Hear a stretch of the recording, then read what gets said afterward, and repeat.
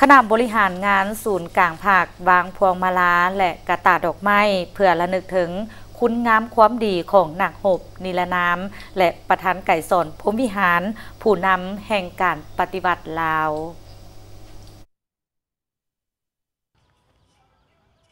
เนื่องในโอกาสเฉลิมฉลองวันสร้างตั้งพรรคประชาชนปฏิบัติลาวครบรอบ 68 ปี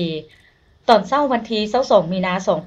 2023 คณะบริหารงานศูนย์กลางภาค นำโดยสหายทองลุนศรีสุริตเลขาธิการใหญ่คณะบริหารงานศูนย์กลางภาคประธานประเทศแห่งสาธารณรัฐประชาธิปไตยประชาชนลาว ได้วางพวงมาลาที่อนุสาวรีย์นักรบนิรนาม เพื่อระลึกถึงคุณงามความดีของบรรดาสหายนักรบนิรนาม ผู้ที่เสียสละชีวิตและเลือดเนื้อ ในภารกิจต่อสู้กู้ชาติเพื่อเอกราชของประเทศชาติและของประชาชน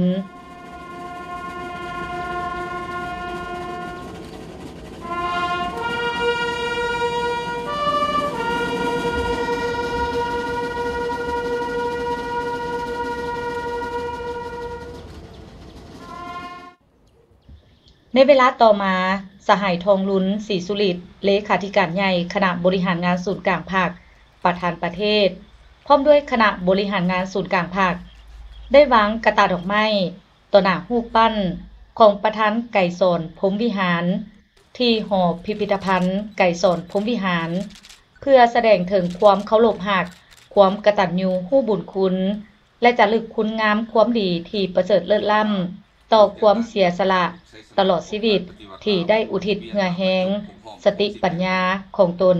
เข้าในภารกิจปฏิบัติ เพื่อชาติเพื่อประชาชนของประธานไก่สนภูมิหาร ผู้นำที่ดีเด่น และแสนเขาลมหักของภาครัฐและปวงสุลาบรรดาเผ่าทางชาติ ผู้นำที่พาสร้างตั้ง และทนุบำรุงฝึกฝนหล่อหลอม ปรับปรุงก่อสร้างภาคให้นักแน่นเข้มแข็ง เป็นผู้ริเริ่มและนำพาภารกิจเปลี่ยนแปลงใหม่รอบด้าน ที่มีหลักการของภาคประชาชนปฏิบัติลาวพรรคประชาชนปฏิบัติลาวได้สั่งตั้งในวันที่22มีนาปี 1955 เพื่อตอบสนองกับความเฮี้ยงห้องต้องการของภารกิจต่อสู้กู้ชาติและการเติบใหญ่ขยายตัวของกำลังปฏิบัติอยู่ประเทศเฮาที่ເຂດທີ່ໝັ້ນແຂວງຫົວພັນ ການສ້າງຕັ້ງພັກປະຊາຊົນປະຕິວັດລາວ ເປັນເຫດການອັນຍິ່ງໃຫຍ່ແລະສຳຄັນທີ່ສຸດ ໃນປະຫວັດສາດຂອງຊາດລາວ ເປັນການສືບທອດພາລະກິດອັນມີກຽດສະຫງ່າຂອງພັກກອມມູນິດອິນດູຈີນ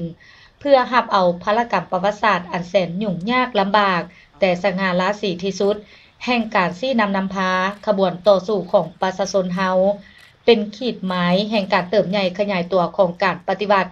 ที่ติดพันสนิทแน่นกับการเกิดขึ้น และเติบใหญ่ขยายตัว